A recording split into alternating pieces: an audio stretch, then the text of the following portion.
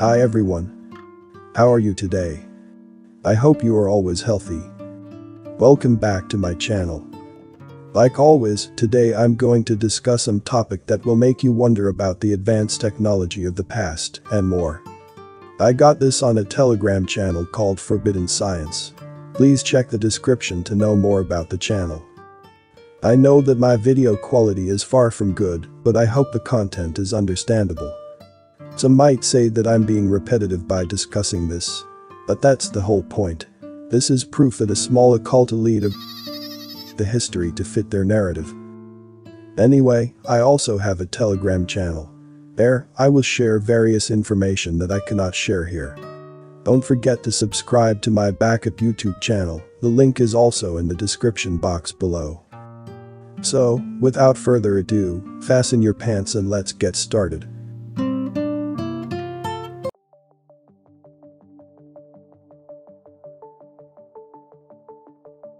In modern Great Zimbabwe, the remains of the old town of the early 12th century were found.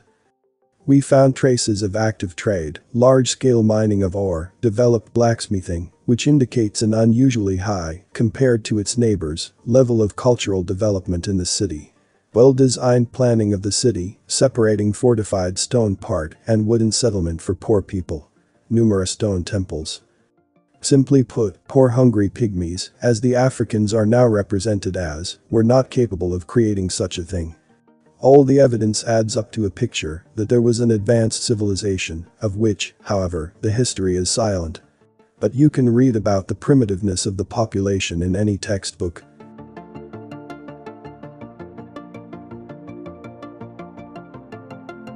You have to agree that the slab-lined terrace at Lake Shira in Khakassia is hard to take for a natural formation.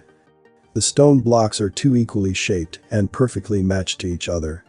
The plates of Lake Shira were mentioned due to the study, which was conducted by Gennady Kovalenko. The conclusion of the Siberian scientist is unambiguous, this masonry has an artificial origin. The study showed that, unlike all other shoreline rocks, the fragments of these plates have magnetic susceptibility. The rectangular blocks on the southwest shore of Lake Shira are particularly well preserved. The gaps between the plates are completely absent. On the eastern shore, 15 slabs with cut ends were found. The megalithic masonry on the Shira Lake is not inferior to the analogues in ancient Egypt or South America. Could it be the legacy of an ancient civilization? But who and when could have created this mysterious object? What was its purpose?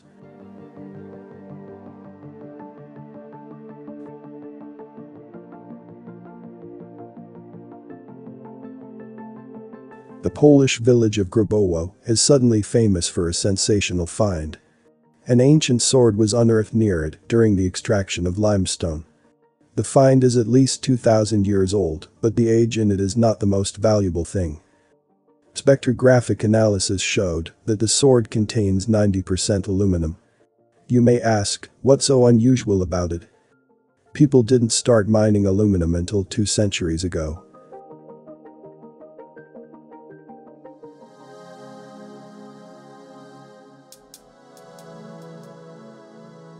In the Mediterranean Sea, on the island of Sardinia, there are quite a few impressive objects of the past, created about 4,000 years ago. The unknown civilization of the island perfectly processed megaliths, created everything in the right geometric shapes, but all this is not so important. An interesting well, called Santa Cristina. The well is considered sacred and it was built from machine blocks. There is a hole in the roof of this structure, into which, as it turned out, every 18 years and 6 months, the moonlight perfectly spills. In addition, the day before the moonlight, at midnight, from the hole in the sky you can see the position of the star Sirius.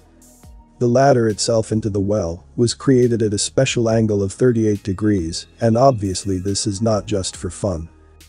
Mainstream scientists have not figured out how, 4,000 years ago, supposedly the ancient people, so calculated and built everything. But the fact remains. Before I continue the video, please give a like if you learned something.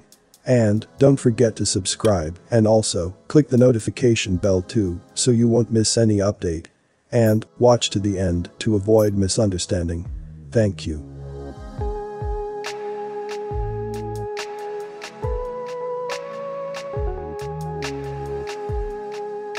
Two hundred years ago, Russia had a subtropical climate. As strange as it may seem, but there are many obvious inconsistencies and facts in the history, which are completely contrary to the official chronology. There are many such facts, but for starters, it is fruit not typical of many parts of modern Russia. Well-known Pushkin wrote about pineapples, which he tasted at the landlord in the Kaluga region. Also, about 300 years ago, there were vineyards, not only in the southern cities as now, but in Russia in general. In St. Petersburg, for example, there were palm trees, as well as in Moscow. Now, all this can be seen only in some southern cities. But most interestingly, in the Pskov Chronicles there were mentions of crocodile attacks in 1581. But if you consider these and other facts, what could have caused the climate to change so much over several centuries?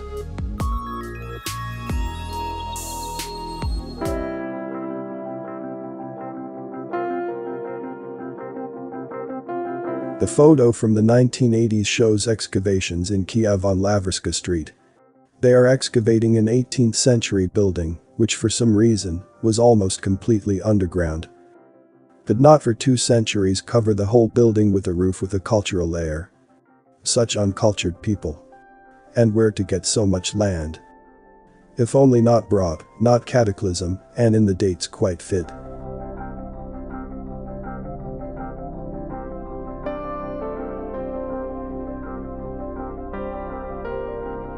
Another issue of Technica Young, 1936, describes the revolutionary CHP technology. In short, the problem with expensive electricity was that to produce it, you had to heat water steam to 365 degrees and then create a pressure of 200 atmospheres. And the metal parts from such numbers were covered with scale, rusted, and required frequent replacement. But in 1914, the first mercury water stations appeared. Already in 1933, such a unit worked on an industrial scale at the General Electric Company station. And it seems everything was fine, mercury at 8 atmospheres gave 500 degrees, the equipment does not oxidize and rust, and installation takes 10 times less space. The world was on the verge of cheap electricity and, as it turned out, World War II.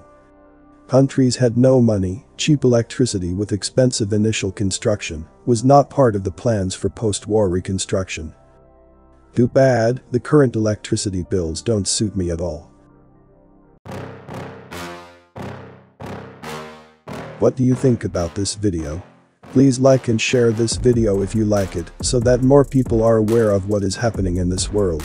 Before I end this video, let's say thank you to everyone who took the time and energy to research this, they have done a lot for us all.